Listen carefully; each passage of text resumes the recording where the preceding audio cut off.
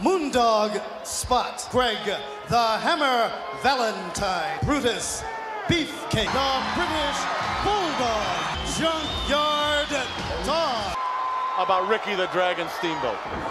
Well, you know, whether he will indeed return to the world, of a good opportunity for all. Look at us out there, the British Bulldogs, Junkyard Dog, and Moondog to be successful in six-man tag team action.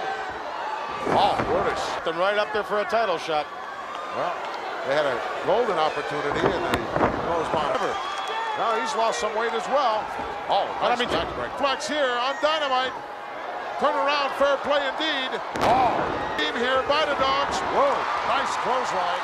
Boom. He certainly was. He's half nuts. Power slam, perhaps. It's all over. I'll tell you that right now. Nobody's going to get up from that.